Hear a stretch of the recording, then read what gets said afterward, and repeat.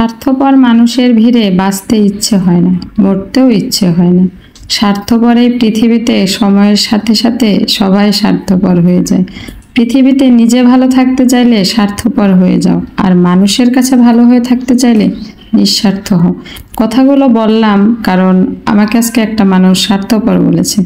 কথাটা শুনে অনেক কষ্ট লেগেছে। তারপর আবার ভাবলাম যে আসলে নিজে যতই ভালো হই না কেন, সবার কাছে তো আর আমি ভালো হতে পারব না। তাই আমার ভালো নিয়ে আমিই থাকি, যাদের স্বার্থ নিয়ে তারা থাকে। স্বার্থপর হওয়াটা দোষের কিছু না, বরং সফল হতে হলে এর প্রয়োজন আছে। স্বার্থপরতা তখনই দোষের হয় যখন তা আমি বা আমার সীমানা পার হয়ে অন্যের ক্ষতি করে।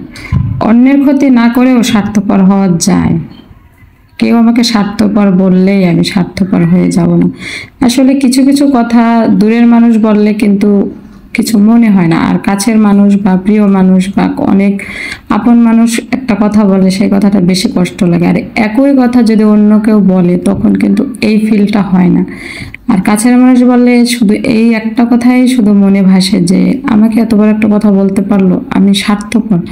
আসলে মানুষের কথায় অনেক কষ্ট পাই মাঝে মাঝে, অনেক খারাপ লাগে। তারপরে আবার ভাবি যে আসলে সবার মন মানসিকতা তো একরকম না। আমি যাকে যেভাবে দেখব, সে যে আমাকে সেইভাবে দেখবে আসলে এমন কোনো কথা না। তো যাই হোক, যার যেমন মন মানসিকতা, সে তেমনই দেখবে। তো সবাই ভালো থাকুক, এটাই কামনা করি। স্বার্থ নিয়ে সবাই সবার মতো থাকুক, আমি আমার স্বার্থ নিয়ে থাকুক। আসলে পৃথিবীতে সবাই স্বার্থপর, যে যার স্বার্থ নিয়ে থাকে। আমিও স্বার্থপরই হলাম, স্বার্থপর হয়ে থাকলাম। আপনাদের সাথে কথা বলতে বলতে এদিকে আমার ডালটা রান্না হয়ে গিয়েছে, তারপরে আমি যে মশলা কষিয়ে মাংসটা বসিয়ে দিয়েছি, তো আমার বাসায় মুরগি মাংসটা বেশি খাওয়া হয় কারণ ছেলের প্রচুর অ্যালার্জি, যার কারণে অ্যালার্জি জাতীয় খাবার একেবারেই খাওয়া মানে খেতে পারছে না কি, আপাতত বাদ দিয়ে রেখেছি। চোখে প্রচুর অ্যালার্জি চোখের ডাক্তার দেখিয়েছি, তো ডাক্তারও বলেছে অ্যালার্জি জাতীয় খাবার একেবারেই না খেতে।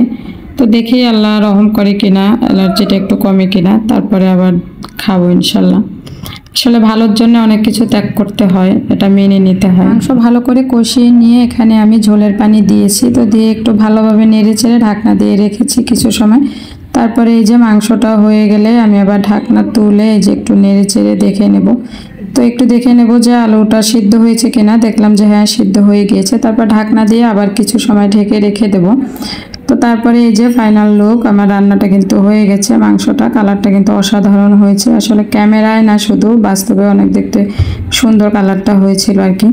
তো আজকের ভিডিওটা এই পর্যন্তই, ভালো থাকবেন সবাই, সুস্থ থাকবেন। আবারও আপনাদের সাথে দেখা হবে অন্য কোনো ভিডিওতে, অন্য কোনোভাবে। তো সেই পর্যন্ত সবাই ভালো থাকবেন আর আমার জন্য দোয়া করবেন। আর সবাই ভিডিওটা দেখার পরে একটা লাইক দিয়ে কমেন্টস করে যাবেন। আপনার একটি লাইক আমার কাছে অনেক মূল্যবান।